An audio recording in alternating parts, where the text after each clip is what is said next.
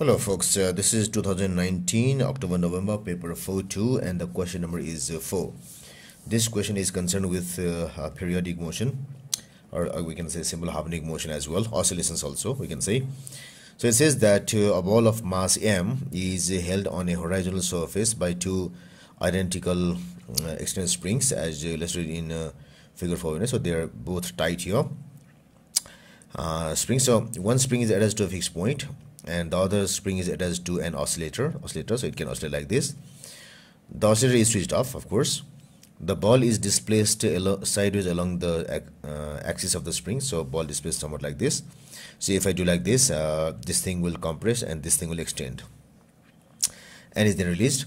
The variation with time t of the displacement x of the ball is shown like this. So it means that this thing oscillates here oscillates and uh, the graph is like this. So uh, the graph shows that uh, the displacement was highest in the beginning. So that means we have done like this.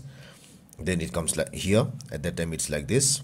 When it goes here it comes it's like this. When it comes back it's like this. When it comes here it's like this and so on. So as it goes on oscillating here the graph will be somewhat like this.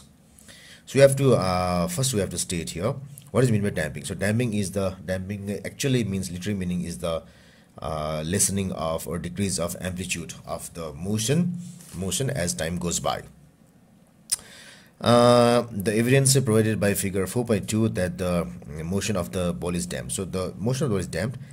The evidence is given by the the graph of course. So what i can say is initially the first amplitude was 1.5 centimeter. And when it comes to the same thing same place here the amplitude becomes uh, say it is if it is 1 it is 1.1 and 1.15 so from 1.5 1.5 it has become 1.15 then it has become here so 0.5 here is 0.6 0.7 0.8 uh, 0.85 so it becomes 0.85 and so on centimeter and so on. So that means that uh, the ball is damping. Ball is damping.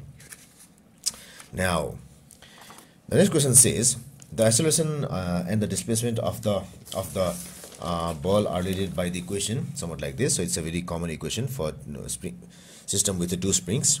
Where k is the spring constant of one of the springs so since there are two springs in parallel it will be uh, it will be um, 2k so one, for one spring it is uh, 1k the mass m of the ball is 1.2 kg so mass is given here.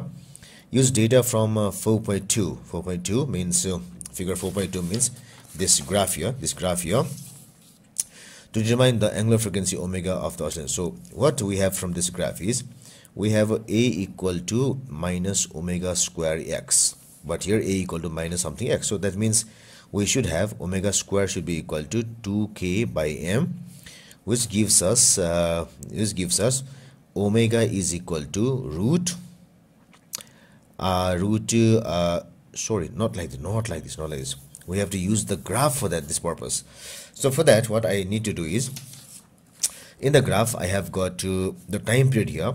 So from here to here the time is time is 0.8 seconds. So that's why the time period is equal to 0.8 seconds. And we have omega is equal to 2 pi by t. So it's equal to 2 pi by 0.8 so if i do the calculations here it will give me uh, 2 into shift uh, pi divided 0.8 equal to so this is uh, equal to 7.85398 and so on. So it becomes simply 7.85 radians per second. So it is 7.85 radians per second.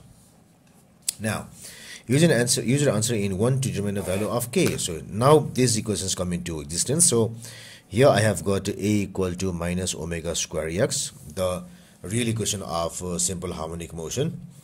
So this means that uh, uh, here it is minus 2k m by mx so it should be omega square equal to 2k by m which gives me k is equal to m omega square by 2 so that means this k becomes equal to m is the mass is equal to large m here large m here.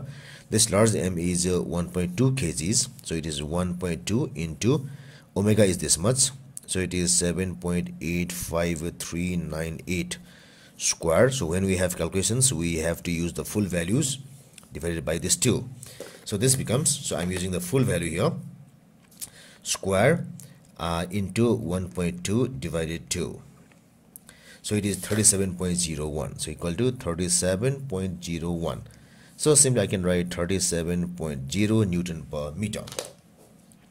Per meter. So now now the oscillator is switched on. So it means that this oscillator starts to move. This oscillator starts to move like this move like this. The amplitude of the oscillation of the oscillator is constant. So it is its amplitude kept constant. The angular frequency of oscillation is uh, gradually increased from from uh, 0.7 omega to 1.3 omega where omega is the angular frequency calculated here calculated in p1 is here 7.85 so uh, on the axis of figure 4.3 4.3 show the variation with angular frequency frequency uh, frequency of the amplitude A of the oscillation of the ball. So we have to draw the variation of this thing, variation of uh, angular frequency uh, of the sorry amplitude A of this thing uh, compared to the uh, compared to the angular frequency. So what we have is this thing is this thing is uh, the angular frequency of the ball, which means that it is it's a natural frequency. So when I oscillate the uh, oscillator, when its frequency reaches this thing this thing the amplitude should be highest it's a case of resonance so at the 7.85 7.85 omega uh, it will be highest uh, 7.85 radians per second it should be highest omega so so now 1.0 omega means that 7.85 so that's why at this point at this point uh, the amplitude should be highest. So from here the amplitude goes on increasing like this. It goes increasing like this this this this this this reaches the highest. And then it starts to decrease decrease. But when it decreases the rate of decrease is uh, slightly lesser than the rate of increase. So this is the case. So i can draw a vertical line here to show that uh, this thing is the highest. So highest here is value now some sand is now sprinkled on the horizontal surface. So so mm, uh, sand sprinkled on the uh, surface. That means that uh, we will do it right here right on uh, so that some friction is increased. The angular frequency is again gradually increased from uh, this to this. State two changes that occur on the line you have drawn on this to this thing. So we have to state two changes here. So what happens is if i sprinkle sand here it will be increasing some degree of friction here. So friction means that now what happens here is the amplitude decreases. Definitely the amplitude decreases. So overall value of amplitude overall value of amplitude decreases. So in the graph what happens here is what happens here the curve will be the curve will be below the original one. The new curve will be so new curve new curve will be below original below original original at every point at every point every point. And then the resonance occurs at uh, at uh, a lower frequency lower frequency. It's because uh, uh, omega square is equal to 2k by m 2k uh, by uh, sorry let's not go, go, for that. So here here this is the equation for without any hindrances. So when we have got sand here so some other factors also get included decaying factors plus some something else.